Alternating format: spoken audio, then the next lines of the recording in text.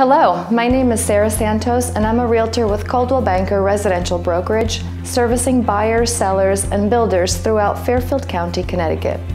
I've lived in Fairfield most of my adult life and I've raised three children currently enrolled in the Fairfield Public School System. One of the biggest advantages that I bring to your real estate transaction is my extensive knowledge of this great town.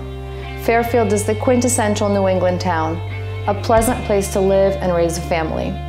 It is a unique water community offering multiple beaches, a vibrant restaurant scene, and the abundance of recreational and entertainment options, as well as the accessibility to New York City and Boston.